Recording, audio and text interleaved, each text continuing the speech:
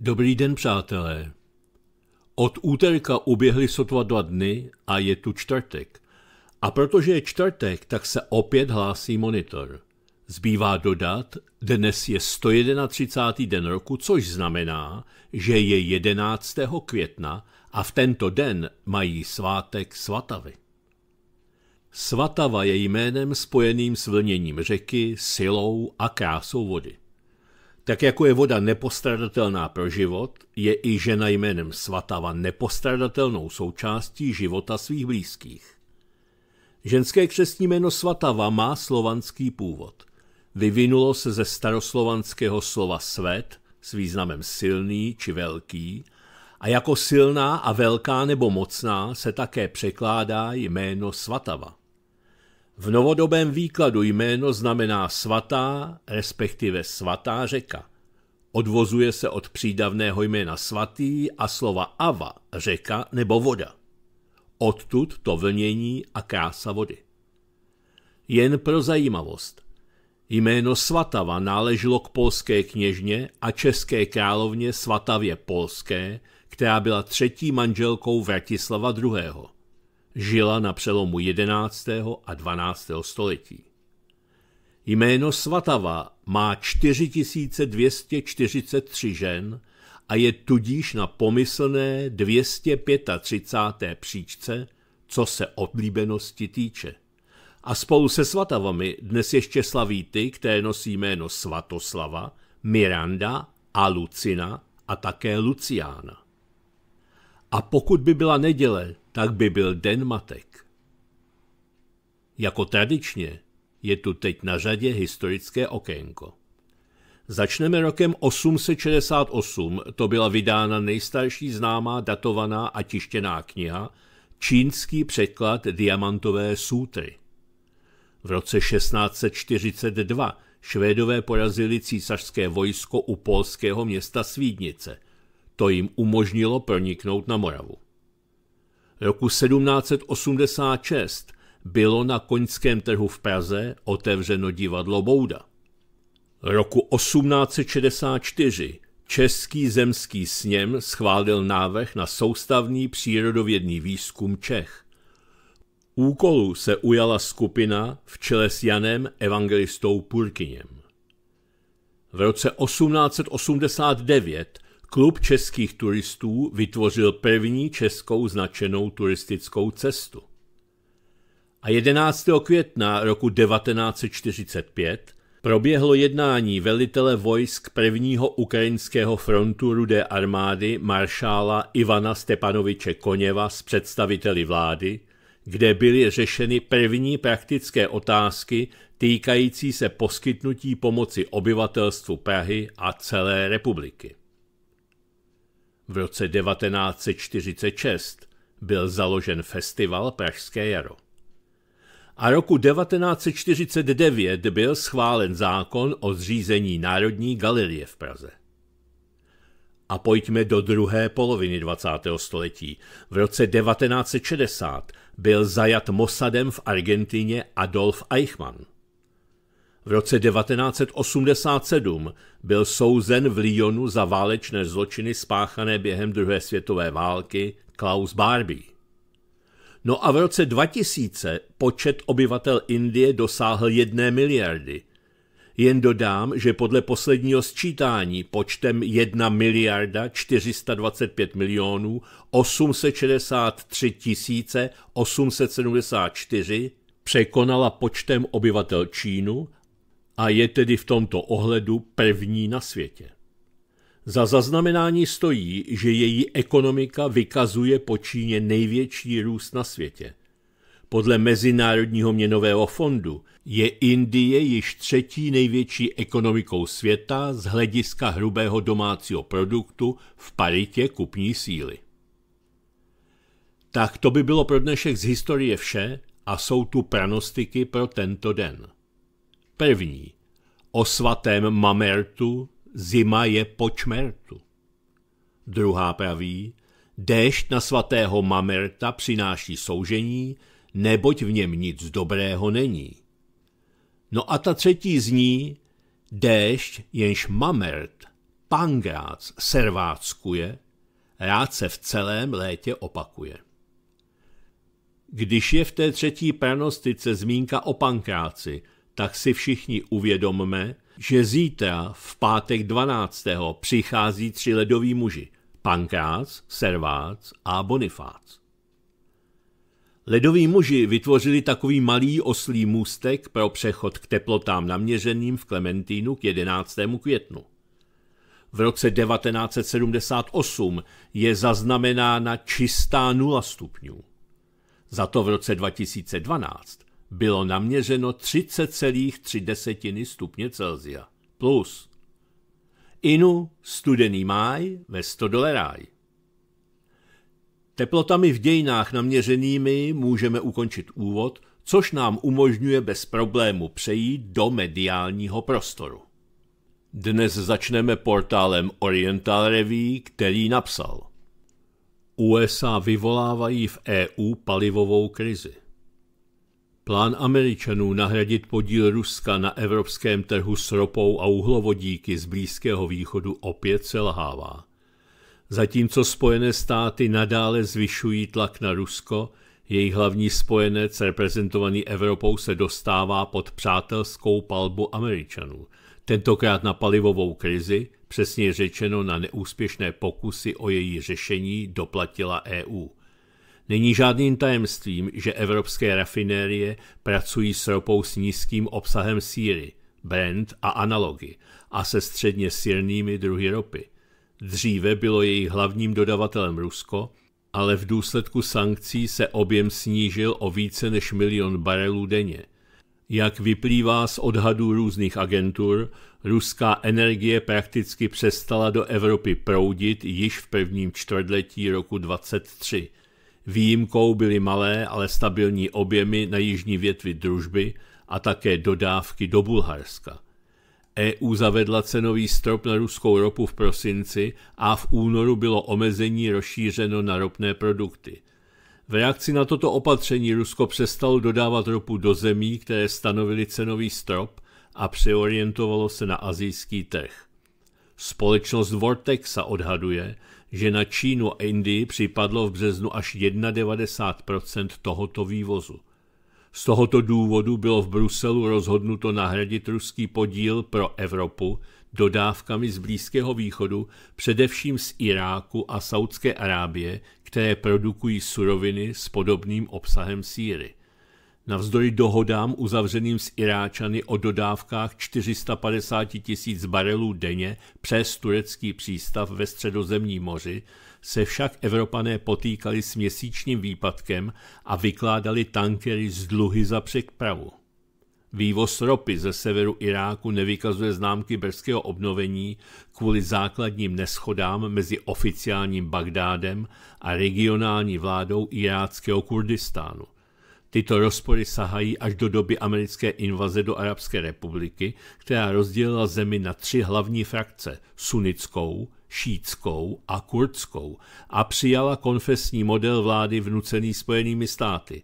V takovém případě by ten či onen úředník v Bagdádu přerozděloval rozpočtové prostředky z prodeje ropy do regionu, kde se soustředuje elektorát, který ho podporoval. Současný premiér Mohammad Shia al-Sudány je tedy lobbystou za zájmy jižních šítských provincií, což nemůže nepopudit kurdský sever, jehož finance trpí nedostatkem příjmu z ropy.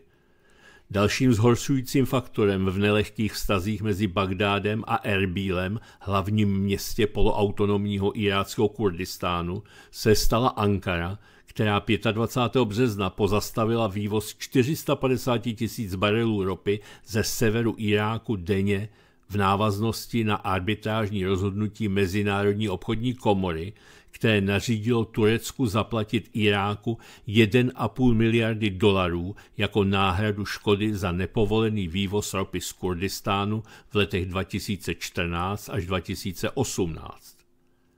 Přestože Bagdád a Erbil 4.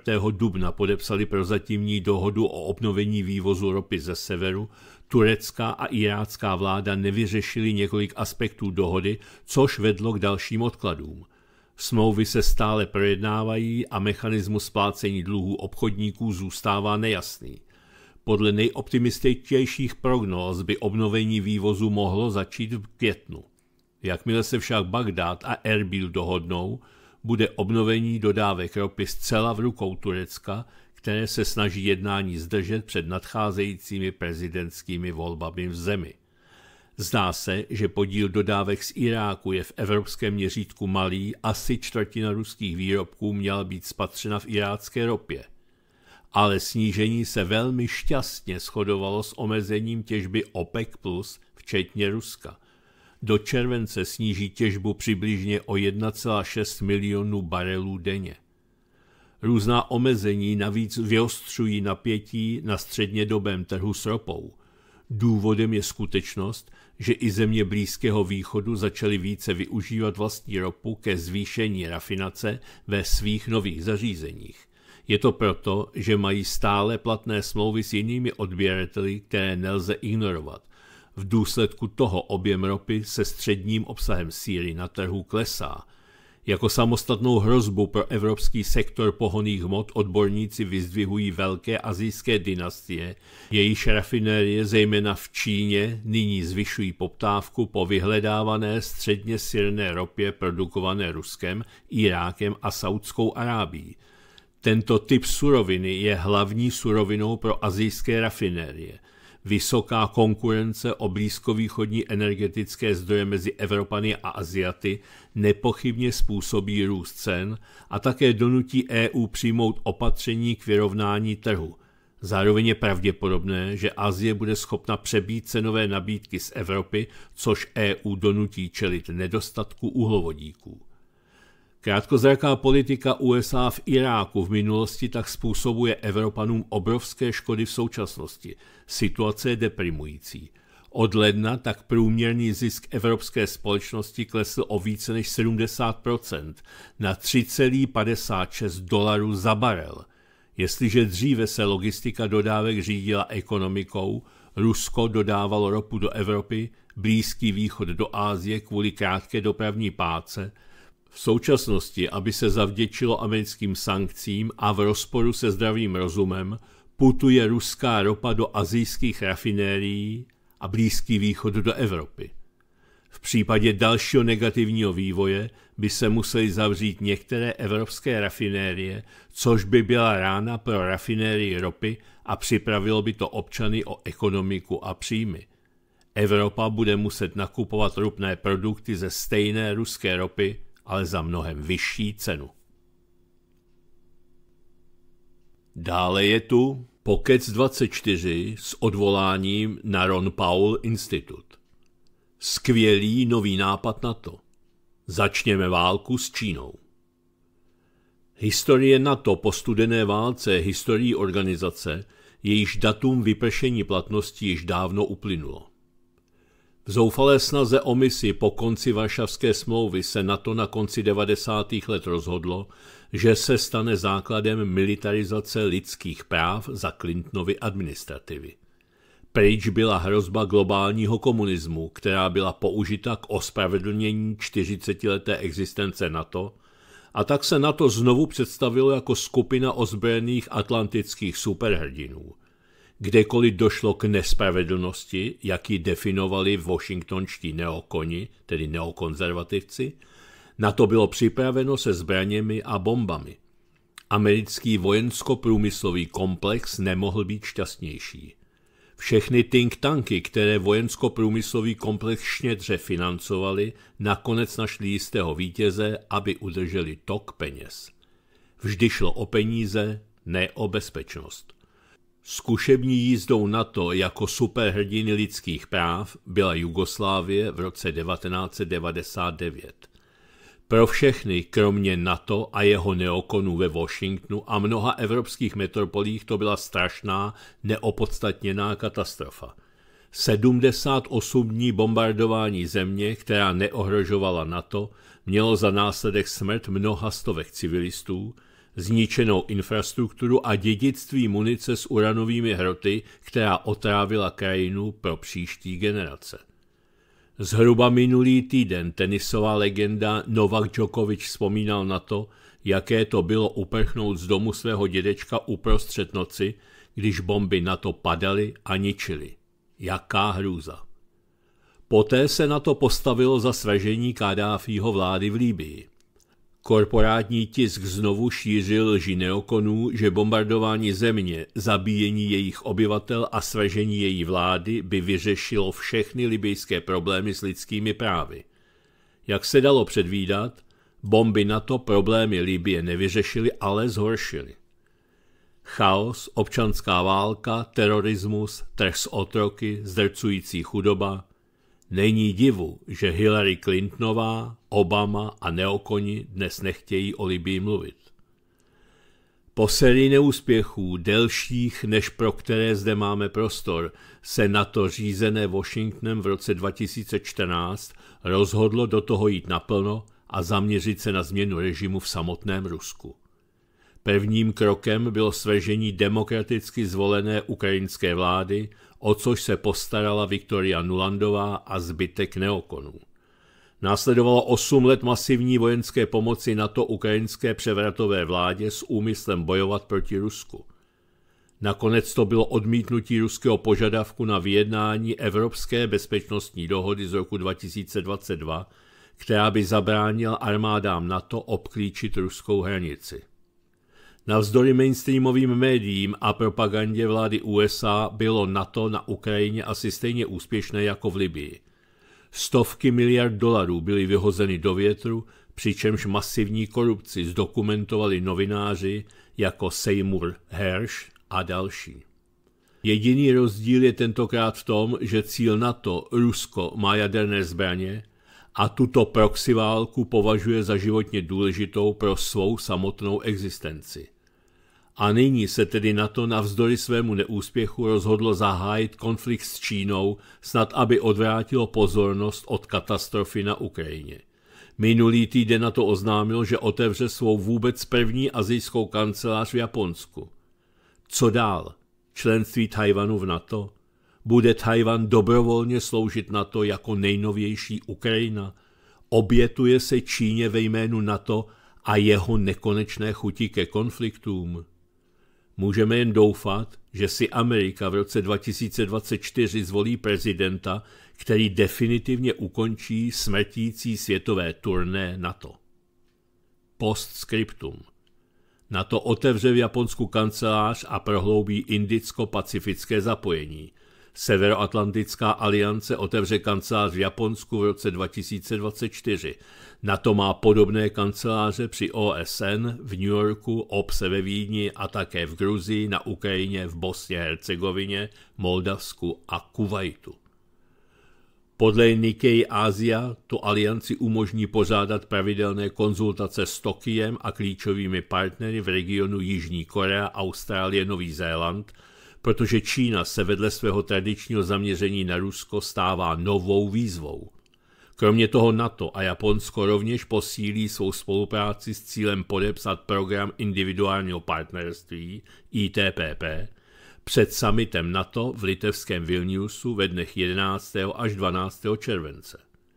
Severoatlantická aliance North Atlantic Treaty Organization se tak postupně mění na North Atlantic and Pacific Treaty Organization a rozšiřuje svou působnost na celý svět. Nutno podotknout, že byrokracie EU je na to již připravena. Stačí si připomenout nedávný návrh diplomata Evropské unie Josefa Borela, aby evropské námořní síly hlídkovaly v tajvanském průlivu. Zhoršení hospodářských vztahů mezi EU a Čínou tedy není daleko. Globalizace NATO se stane dalším stimulem pro přeformátování strategické spolupráce mezi Ruskem a Čínou na plnohodnotnou vojenskou alianci. Teď je tu Zero Hedge a Tyler Darden. Kissinger pronesl předpověď o Ukrajině točící se kolem Číny. 99-letý Henry Kissinger washingtonskému establishmentu, který jej dlouho zbožňoval, zase zdvihl obočí, tentokrát určitými neočekávanými komentáři o ukrajinské válce. V čerstvém interview s Tedem Koplerem ze CBC News vysílaném v neděli řekl, že na Čínu pohlíží jako na pozitivní sílu, která přinese mír mezi Rusko a Ukrajinu. Teď, když se Čína zapojila do vyjednávání, tak z toho něco vznikne, myslím, že do konce roku, řekl tento bývalý ministr zahraničí. Mluvíme o procesu vyjednávání i o skutečných jednáních. Newsweek některá z těchto prohlášení schrnul do komentáře. Myslí si, že rusko-ukrajinská válka se dostává do bodu zvratu a díky nedávnému úsilí vyvinutému Čínou očekává do konce roku vyjednávání. To je odkaz i na čínský 12-bodový mírový plán i na skutečnost, že v Dubnu vedl prezident Xi s ukrajinským prezidentem Zelenským hodinový telefonní rozhovor. To bylo po cestě Siho do Moskvy, kde se sešel s Putinem. Zajímavé je i to, že tento postarší diplomat nabídl své služby. Kissinger Kopelově též řekl, že si myslí, že jak čínský prezident Xi, tak Putin by s ním, kdyby jim telefonoval, mluvili. Když se Kopel ptal, zda by se s Putinem v Moskvě sešel, kdyby ho o to prezident požádal, tak tento penzionovaný diplomat řekl, tíhnul bych k tomu udělat to, ano. Byl bych ale jen poradcem, neaktivní osobou. Jak Ukrajina, tak USA čínský plán při různých příležitostech tepali. V březnu ho ukrajinský ministr zahraničí Dmitro Kuleba označil za spiknutí, které má Moskvě dát čas na posílení jejich sil – je zajímavé, že čínská státní média se Kissingerovi předpovědi chytila a aktivně ji propagují. Takové nepředložené ústupky agresorovi by jen povzbudili Rusko, aby zintenzivnilo své útoky na demokracii a poskytlo mu čas na přebudování svých vojenských kapacit a k obnovení ozbrojené ofenzívy proti Ukrajině, řekl tehdy Kuleba. Ale čím déle ta plánovaná ukrajinská protiofenzíva vázne, tím více se to asi otevírá pro zahájení jednání. Ozývají se spekulace, že i Washington, budou-li ztráty na bojištích pokračovat, by mohl nakonec Kiev tlačit k větší ochotě k jednání, zvláště když Rusko už kontroluje 90 či 95% Bachmutu. Nyní se podíváme na to, co je nového ve společenství BRICS. Je tu portál Infobrix. Čína a Indie budou mít v příštích pěti letech vedoucí postavení v celosvětovém růstu. Podle nejnovější zprávy Mezinárodního měnového fondu budou Čína a Indie svými příspěvky k růstu globálního hrubého domácího produktu v čele světového hospodářství následovány Spojenými státy. Na základě výpočtu agentury Bloomberg z údajů ve zprávě Mezinárodního měnového fondu World Economic Outlook bude podíl Číny na globální expanzi hrubého domácího produktu činit 22,6%, podíl Indie 12,9% a podíl Spojených států 11,3%. Za Čínou, Indií a USA následují Indonésie, Německo, Turecko a Japonsko, z nichž každý přispěje ke světovému HDP méně než 3,5%. Téměř 75% celosvětového růstu bude pocházet z pouhých 15 zemí a více než 50% z toho bude pocházet z Číny, Indie, USA a Indonésie dohromady. Podle základní prognózy se růst sníží z 3,4% v roce 2022 na 2,8% v roce 2023 a poté se ustálí na 3% v roce 2024. Zvláště výrazné zpomalení růstu se očekává u vyspělých ekonomik, a to z 2,7% v roce 2022 na 1,3% v roce 2023.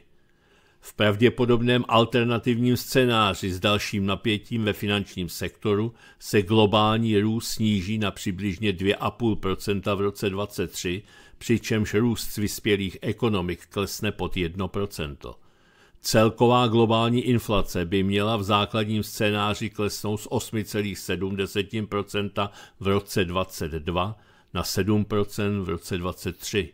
V důsledku nižších cen komodit, ale základní jádrová inflace bude pravděpodobně klesat pomaleji. Návrat inflace k cíli je ve většině případů nepravděpodobný před rokem 2025, uvádí zpráva.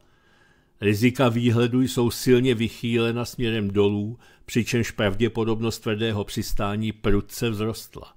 Napětí ve finančním sektoru by mohlo zesílit a mohlo by dojít k šíření nákazy, která by oslabila reálnou ekonomiku v důsledku prudkého zhoršení podmínek financování a přinutila centrální banky přehodnotit své politické směry. Mezinárodní měnový fond očekává, že příspěvek k růstu ze strany zemí BRICS, to je z Brazílie, Ruska, Indie a Číny, předčí příspěvek zemí skupiny sedmi, tedy G7. Celkově Mezinárodní měnový fond předpokládá, že v prostředí vyšších úrokových sazeb se globální růst v příštích pěti letech zvýší přibližně o 3% Jedná se o nejslabší výhled růstu, který Mezinárodní měnový fond předpovídá za více než tři desetiletí. Zpráva Mezinárodního měnového fondu se dále zamýšlí nad nedávnými bankovními otřesy v USA, to jest nad krachem Silicon Valley Bank, Signature Bank a nad problémy Silvergate Bank. Kromě toho byly vyjádřeny obavy z přetrvávajících problémů, kterým čelí další významné finanční instituce, jako je Credit Suisse, po nedávném oznámení fúzí s UBS a z toho, jak lepkavá inflace zvýšila problémy globální ekonomiky a zvýšila pravděpodobnost hlubší recese, než se dříve předpokládalo. Teď ještě jednou Zero Hedge. Panika na pláži v Tel Avivu, když na Izrael dopadá více než 100 raket z Gazy. Militantní skupiny v Gaze jsou o velký krok blíže ke vstupu do další plnohodnotné války s Izraelem, protože rakety křižují oblohu nad pásmem již druhý den po sobě. Izraelská armáda a vládní zdroje uvedly, že z Gazy bylo vypáleno více než 170 raket, přičemž 134 z nich dopadlo na izraelské území. Mnohé z nich zachytil obraný systém Iron Dome. Zpočátku se sirény a snahy o evakuaci civilistů soustředili na jich, kde padaly rakety, ale objevily se dramatické záběry ukazující tisíce civilistů, kteří se snaží najít úkryt na pláži v Tel Avivu. Agentura Associated Press rovněž potvrzuje, že palestinští ozbrojenci ve středu vypálili z pásma Gazy na Izrael desítky raket, což byla první reakce na probíhající izraelské letecké údery, při níž zahynulo 19 palestinců, včetně tří vysoce postavených ozbrojenců a nejméně 10 civilistů. Izraelské údery začaly v noci z pondělí na úterý v nejtěžších bojích za poslední měsíce, které následovaly po raketách vypálených minulý týden palestinským islámským džihádem, což byla reakce na smrt prominentního palestinského vězně Kadera Adnana, který zemřel 2. května po 87 denní hladovce v izraelském vězení. Dosud byli při izraelských náletech zabiti nejméně tři vysocí představitelé palestinského džihádu, přičemž také izraelská armáda uvedla, že se v tuto chvíli snaží vyhnout zatažení Hamásu do boje. Raketová palba spustila sirény leteckého poplachu po celé jižní Izraeli a až v 80 km vzdáleném Tel Avivu u středozemního moře – Obyvatelé se připravovali na útok od chvíle, kdy Izrael v úterý brzy ráno provedl první nálety, poznamenává dále agentura AP. Izraelská média hlásí jen málo zraněných uvnitř Izraele, pokud vůbec nějaké, v důsledku raketových útoků. Izraelské školy na jihu země byly v úterý uzavřeny, přičemž ministerstvo školství oznámilo, že školy v okruhu 25 mil, což je asi 40 kilometrů od pásma Gazy, zítra nebudou otevřeny, což znamená, že přibližně 300 tisíc dětí nebude ve škole. Tento výjimečný stav by se v souvislosti s raketovým útokem islámského džihádu mohl rozšířit i na další centrálnější regiony. Minister obrany Joav Galant v úterý varoval, že může dojít k dalšímu raketovému ostřelování, a to do oblastí poblíž hranic Gazy i daleko od nich, a to se značnou intenzitou. Ve středu na to navázal mluvčí izraelské armády kontraadmirál Daniel Hagari. Jsme stále uprostřed kampaně, která ještě neskončila a nebyla ukončena. Ve včerejším vzhledu RU vyšel v poledne článek, ve kterém vojenský expert hodnotí prohlášení Pentagonu o sestřelené raketě Kinjal na Ukrajině. Ozbrojené síly nemohly sestřelit raketu Kinjal ze systému Patriot. Pentagon záměrně vypouští falešné zprávy o sestřelení rakety Kinjal. Snaží se tak vytvořit zdání ultravysoké účinnosti svých samů, tedy systému protizdušné obrany, uvedl pro list vzгляд vojenský expert Jurij Knutov. Pentagon před nedávnem informoval, že ukrajinské ozbrojené síly údajně sestřelily ruskou raketu Kinjal pomocí amerického systému SAM Patriot. Ukrajinské ozbrojené síly nemohly sestřelit hypersonickou raketu Kinjal z amerických systémů Patriot. Zachytit Kinjal je obecně prakticky nemožné, protože střely jsou schopny měnit svou trajektorii během letu a americký systém Patriot není schopen střílet na vysokorychlostní manévrující cíle, uvedl Jurij Knutov, vojenský historik a ředitel muzea sil protizdušné obrany. A i kdybychom předpokládali, že nepřítel nějakým způsobem raketu sestřelí, je nepravděpodobné, že by z ní vytěžil něco ceného nebo odhalil naše projekty. Střela padá obrovskou rychlostí a když dopadne na zem, roztříští se a její úlomky se rozletí několik desítek metrů daleko. Z těchto úlomků by bylo téměř nemožné zjistit technologii jeho výroby. Takové lži o údajném zničení nejsilnějších ruských zbraní potřebuje Pentagon, aby demonstroval imaginární úspěchy své vlastní technologie. Zároveň je pro ně důležité ukázat, že naše moderní zbraně mohou být zranitelné, i když tomu tak ve skutečnosti není. Kromě toho USA selhali ve svém vlastním programu vývoje hypersonických raket a prakticky neexistují systémy, které by takové zbraně potlačily – proto se domnívají, že když sami nedokážou rakety vytvořit, stačí všechny přesvědčit, že nejsou ničím výjimečné a není třeba se jich bát. Uzavřel Knutov. Již dříve šéf tiskové služby Pentagonu Patrick Ryder přišel s tvrzením, že ukrajinským jednotkám se údajně za použití systému Patriot SAM podařilo sestřelit ruskou hypersonickou raketu Kinjal – v odpovědi na upřesňující otázku Raider uvedl, že šlo o raketu Kinjal. Na podrobnosti se nabídl zeptat ukrajinské strany. Připomeňme, že o sestřelení Kinjalu jako první informovala ukrajinská média, ale jejich prohlášení popřel zástupce vzdušných sil AFU. Ukrajinský minister obrany Oleksij Rezníkov však později uvedl, že ukrajinské ozbrojené síly údajně hypersonickou raketu sestřelily. Již dříve bylo oznámeno, že úder ruské hypersonické střely Kinjal zničil komunikační centrum ukrajinské armády a zabil tam desítky důstojníků Severoatlantické aliance.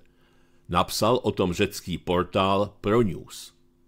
Vojenský expert Oleksij Leonkov uvedl, že vedení ukrajinských ozbrojených sil se obává úderů ruských hypersonických raket, včetně známých kinžálů.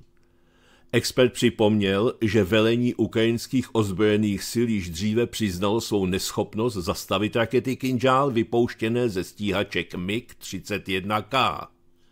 Valerij Gerasimov, náčelník generálního štábu ruských ozbrojených sil, uvedl, že hypersonický raketový systém Kinjal prokázal vysokou účinnost a nezranitelnost vůči ukrajinské protizdušné obraně. Já nevím, nejsem vojenský expert, ale mám potřebu utrousit k tomu pár slov. Když jsem viděl, s jakým nadšením naše objektivní a pravdomluvná média oznamovala, že systémem Patriot byl sestřelen kinžál, řekl jsem si, že teď, jako již mnohokrát, neuslyšíme z médií nic jiného, než že díky patriotům budou rusové zoufale utíkat až za Ural. A pak se okolo toho rozhostilo ticho, takže mě nemůže napadnout nic jiného, než že zase blá, blá, blá. Nevím, kde si jsem četl, že Kinžál letí trojnásobnou rychlostí než Patriot a když k tomu připočítáte, že mění trajektorii letu, tak si nějak neumím představit, jak ten Kinžál zaměřili, aby ho ten Patriot trefil. Nabízí se dvě řešení.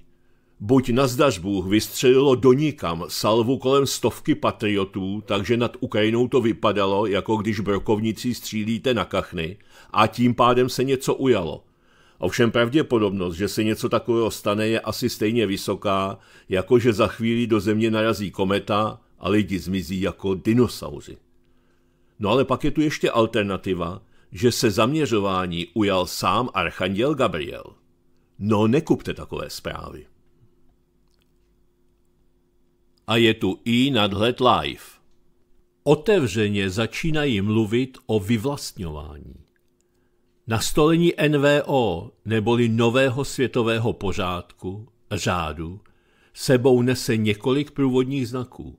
Je třeba si uvědomit, že mezi ně patří nástup totální kontroly, jehož součástí jsou digitalizace, nové osobní doklady, moderní a především všudy přítomné špiclovací zařízení, která se tváří jako vynikající průvodci lidským životem. Mobilní telefony, kamery, platební karty. Dalším krokem je postupné ožebračování každého z nás. No a covidovou hysterii si samozvaní vládci planety vyzkoušeli poslušnost davů a výrobou pochybných a nezdravých potravin zase testují, co lidstvo vydrží a kolik je ještě schopno podstoupit. Jak dalece lze do něj dostat to, co tvůrci NVO dokážou vyrobit. Navíc závadné lahůdky klidně označí, například žábou kde si a zjišťují, kolik jsou lidé ochotni hledat jiné zdroje potravin, či akceptují-li i toto zvěrstvo. Většina toho, pod čímž najdete podpis Billa a Melindy Gatesových, kteří investují snad do všeho, co je pro lidstvo škodlivé, je varováním.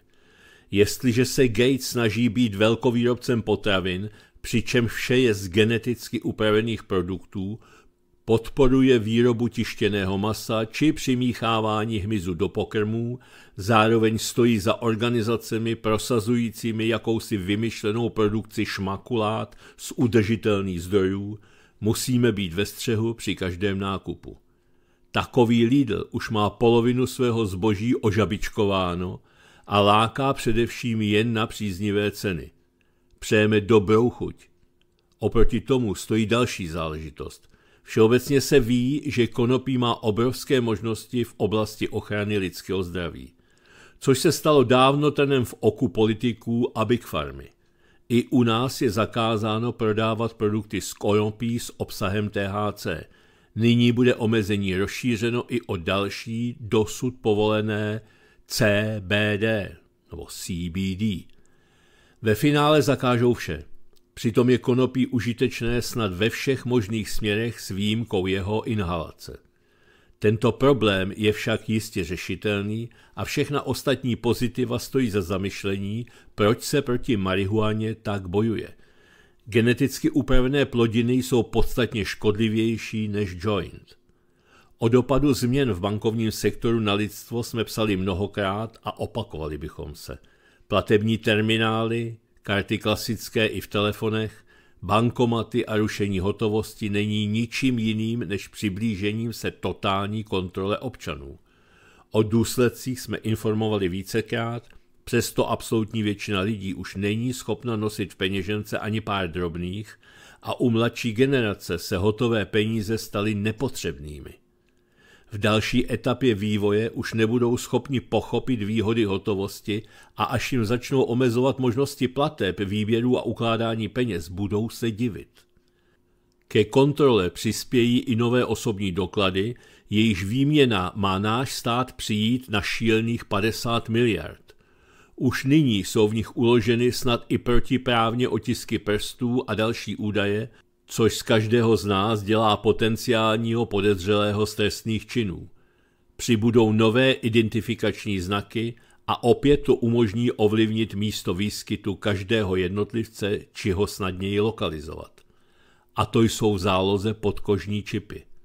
Ptáme se, proč to asi elity nutně potřebují. Veřejně se společnost začíná připravovat na chudnutí. CO2 je jen nástroj k tomu nyní určený.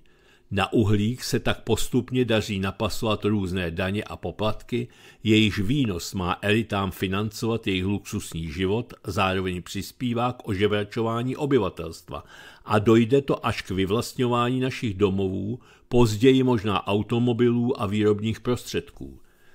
Nemáte na poplatky a daně? Třeba za plyn, elektřinu, nemovitost dobrá. Necháme vás žít, ovšem v našem.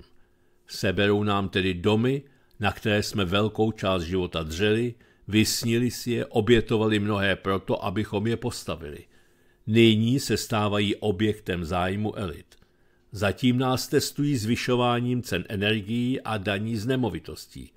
Ne, za to nemůže Putin. To je dlouhodobý plán a jak už víme, komunistům znárodnění, které de facto stejným krokem, nic z toho provedení nezabránilo.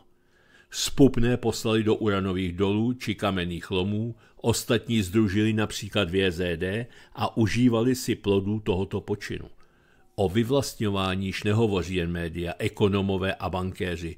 Politikům tato hudba zní sladce a těší se na to, až budou připravovat systém, který navýší jejich moc a lidem vezme další ze základních potřeb a práv. Nelze však počítat se zájmem politiků a ostatních jen o naše nemovitosti. Následovat mohou výrobní prostředky ve firmách, jakékoliv automobily a nakonec vše, co má nějakou cenu. Například drahé kovy a kameny mohou začít podléhat určité registraci a obchod s nimi regulacím. Zní to šíleně, ale kolik takových věcí už je uváděno do provozu. Vývoj společnosti spěje k znárodňování. Opět budeme bránit své majetky se zbraní či jinými nástroji v ruce, vrátíme se k trestům nucenými pracemi v prostředí, v němž budeme brzy umírat a ve strachu z proliberální inkvizice ohneme hřbety, nebo se konečně vzepřeme a subjekty typu vládnoucí pěti koalice vyženeme z postů, na nich se utváří budoucnost. Je minutu po dvanácté. Hrstka neskutečných parchantů nemůže přeci ovládat celý svět. Teď bych chtěl jen připomenout, že 9. května 1945 došlo k osvobození naší vlasti od německé okupace. To říkám v souvislosti s tím, že v úvodu v historickém okénku jsem se také zastavil u data 11. května v souvislosti s tím, že toho dne proběhlo jednání velitele vojsk prvního ukrajinského frontu rudé armády maršála Ivana Stepanoviče Koněva s představiteli vlády, kde byly řešeny první praktické otázky týkající se poskytnutí pomoci obyvatelstvu Prahy a celé republiky. No a protože tyto události dělí pouhé dva dny, ve kterých na sebe navazují, považuji za svou povinnost na ně znovu vzpomenout. Učiním tak tím, že vám přináším text Lenky Procházkové, který nese titulek Kdysi lípy. Českým národním stromem je lípa, nejen proto, že bývala symbolem slovanské vzájemnosti, ale i pro svou dlouhověkost, vznosnost a rozložitost, opojnou vůni, léčivé vlastnosti a využití dřeva. Lipové dřevo provázelo naše venkovské předky celým koloběhem života, v rukou řemeslníků našlo uplatnění při výrobě lžic, dřeváků, hudebních nástrojů, ale i oltářů, kolébek, postelí a rakví. Stovky národních lip byly slavnostně zasazeny 28. října 1919 k prvnímu výročí vzniku samostatné Československé republiky. Další symbolické lípy svobody se před radnicemi měst a na lincích vesnic sázely průběžně při kulatých výročích. Pokaždé to byl oslavný rituál, při kterém vlajky vlály, pozvaní čestní hosté pronášeli vlastenecké projevy, místní ochotníci deklamovali verše připomínající národní hrdost a vítězný boj za svobodu. Školní děti pod taktovkou učitele zpívali Kde domov můj a Ach synku synku. Ratolesti lípy, srčité, stále zdobí standardu prezidenta, na které pravda vítězí, ale i státní pečeť a výložky generálů. Lípy jsou dlouhověké, v ojedinělých případech žijí i tisíc let. Naše paměť zakódovaná v letokruzích ale budoucím badatelům nepomůže objasnit, proč národ, který se odolností a ušlechtilostí lípy tak dlouho inspiroval, pak náhle postrácel sílu žít vzpřímeně. Na klimatické změny to svádět nelze. Živnou půdou pro přežití a kultivaci národa jsou jeho lidé, kteří z generace na generaci vytvářejí štafetu, v níž si předávají pochodeň zkušeností, ideálů a hodnot. Její světlo ozařuje směr dalšího putování a při ohlédnutí mapuje trasu už překonanou, včetně všech křižovatek, sázů a pomníků. Znalost vlastních dějin je pro každý národ navigací k jeho další existenci. Pro nevelké národy to platí především. Vždyť jen pochopení minulých vlastních omylů, selhání i vzájemných křivt nebo zrad způsobených vnějšími silami zabraňuje jejich opakování či dopouštění se znovu. Vymývání mozků není duševní hygiena. Z průzkumu, který byl českým rozhlasem proveden na jaře 2018, vyplynulo, že téměř 50% dotázaných Čechů nevědělo, co se osudového stalo v roce 1938. Ve věkové kategorii 18 až 24 let nemělo povědomí o mnichovské dohodě okolo 60% dotázaných. Kdyby byl tento výzkum iniciován dnes, byly by výsledky ještě horší. Přesto, či právě proto, si někteří politici pohrávají s myšlenkou, aby věk prvovoličů byl snížen na 16 let. Za první republiky měli volební právo do sněmovny občané od 21 a do senátu od 26 let. Kandidáti na zvolení do sněmovny museli tehdy dosáhnout 30 let, do senátu mohli být voleni až v 45 letech. Za plnoletého byl občan uznán v 21 letech, při dřívějším uzavírání sňatku musel být splnoletněn. Tyto zákony měly své opodstatnění v poznání, že člověk na rozdíl od zvířete dorůstá k samostatnosti a odpovědnosti pozvolna, výchovou a nabíjáním zkušeností. Identita člověka se vytváří vlivem rodiny, školy a obce. Nejširším kruhem spolupatřičnosti ke skupině je identifikování se s vlastním národem. Na rozdíl od ovocných stromů, jejich šroubování je pro zkušeného šlechtitele snadnou záležitostí, naroubování lidské halusky k jiné větvi probíhá převýchovou, což vyžaduje čas. Natož chtít přeroubovat národ. Mojžíšovo bloudění na poušti trvalo 40 let, než vymřela nejstarší generace vzpomínající s nostalgií na plné hrnce v otroctví. Dnes nám čas kráčí rychleji než za Mojžíše, ale už nejde o putování k zemi zaslíbené. Svět se globalizuje a národní státy v Evropě jsou programovány k zániku. Ten si demokraticky, v uvozovkách demokraticky, odsouhlasí sami, až skončí etapa přeroubování jejich paměti. Druhá republika se vrací a s ní pro tentokrát rovnou i protektorát. Když mladí Češi už dnes většinou nevědí, jaký mír v uvozovkách mír přinesla Evropě Mnichovská dohoda, nelze čekat, že jim pojem druhá republika by mohl evokovat srovnání s dneškem. I moje poválečná generace zná příběhy z tohoto půlročního období jen z vyprávění, literatury, divadelních her a dokumentů, ale i to stačí, abychom v zachovalém obraze o tehdejší rozdělené společnosti našli paralely se současností. Dnes, kdy prožíváme růst nenávisti vůči oponentům jediné pravdy, zavádění cenzury, udavačství chválené jako mravnost a kolaboraci s cizí mocností opěvovanou jako zájem našeho státu, máme pocit, že hanebná doba mravního úpadku se vrací. Stejně jako naši prarodiče za druhé republiky hledáme informace z jiných zdrojů než doporučených, vytváříme si okruhy spolehlivých přátel, s nimiž lze mluvit na rovinu a snažíme se vyhýbat střetům s bojůvkami, které nás provokují cizími hesly a vlajkami. Ty vlajky už v hlídaném režimu povlávají i na státních budovách. Na rozdíl od druhé republiky ta současná sice nepřišla vnější zradou a vlastní pohraniční a dnes už bezstarostně zarostlé pevnosti, ale tím, že posílá zbraně pro cizí válku, přeskočila rovnou do fáze protektorátu. Místo Wehrmachtu u nás bude pobývat US Army.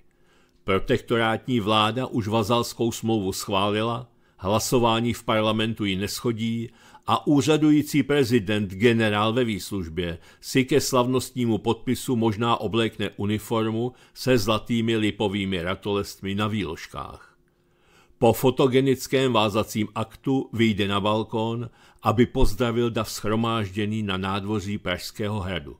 Lid mu zaspívá Kde domov můj a školní děti pod taktovkou zbormistra paradoxně přidají procítěné ach synku, synku až dozní zvony z katedrály, přesunou se oslavy bezpečnostní smlouvy do pražských kaváren a zahrádek hospod. V Plzni možná poteče pivo zdarma rovnou z pouličních hydrantů, tak jako přiteklo začátkem května 1945, když skončila druhá světová válka. U památníku díky Ameriko budou rozjásaní mladí lidé vystřelovat světlice na oslavu toho, že tu třetí válku, v níž Rusko bude konečně poraženo, zhlédnou už brzy v živém přenosu. Když jsem se ptala jednoho z počítačových válečníků, zda si připouští možnost, že bude odveden na frontu, výsměšně si zaťukal na čelo. Mě nemůžou odvést, já mám hypotéku. Pohyblivý svátek a proměny jeho pojmenování. Každý režim má tendenci ohýbat historii podle svých aktuálních politických zadání. To, že se v Československu stal státním svátkem 9. květen, slavený jako Den osvobození sovětskou armádou, však bylo pouze zjednodušeným pojmenováním složité skutečnosti, nikoliv její falzifikací. Osvobozovací boje rudé armády proti nacistům na území někdejšího Československa trvaly 235 dní. Počet sovětských vojáků, kteří zde v závěrečné epopeji padli nebo zemřeli na zranění, dosahuje téměř 138 tisíc a stále není dopočítáno, protože některé hroby v Karpatech dosud nebyly objeveny. Na osvobozování našeho území se ale podíleli i vojáci rumunští. Z nich asi 34 tisíc padlo a také Poláci, jejich ztráty byly přibližně stejné jako v armádě americké – ta bojovala na našem území 20 dní a udávaný počet padlých amerických vojáků je 116. Vlasovců, kteří podpořili pražské povstání, padlo 300. Počet Čechoslováků, kteří přišli o život v bojích při osvobozování své vlasti, je téměř 18 tisíc. V květnu 1990 byl název státního svátku změněn na Den osvobození od fašismu – O rok později byl svátek, připomínající datum německé kapitulace v Berlíně, nově přesunut na 8. května, den, kdy vstoupila v platnost německá kapitulace do rukou spojenců Vermeši. V listopadu 2000 došlo ke zkrácení názvu státního svátku na Den osvobození. Od roku 2004, kdy Česká republika vstoupila do EU, se už ale slaví Den vítězství. Od prvního roku 2024 přestane být i den vítězství státním svátkem a 8. květen se zařadí jen k památečním dnům. Koněv ve skladišti a vděčnost na indexu. V Plzni byl roku 1995 vstyčen pomník díky Ameriko. Po pozdější nutné rekonstrukci byla jeho replika na stejném místě odhalena roku 2018. Pomník generála George Petna byl v Plzni odhalen roku 2015. V dubnu 2020 před oslavami 75. výročí osvobození byla z pražského náměstí Interbrigády odstraněna bronzová socha maršála Ivana Koněva a převezena do skladiště na předměstí. O dva týdny později byl v pražských řeporích instalován pomník Vasovců. V boji o pomníky zdánlivě vyhrávají na území České republiky američané a vlasovci. Ale to je jen mediálně ukazované skóre, protože památníky rudoarmějců a tisíce jejich hrobů jsou rozesety po celé někdejší linii postupující fronty. To, že je místní pamětníci osvobozovacích bojů a jejich potomci stále ctí a opatrují, je přirozený výraz lidského vděku. Zvehlé naopak je kádrovat statečné bojovníky za naši svobodu a podle nového zadání současných politiků a závislých médií.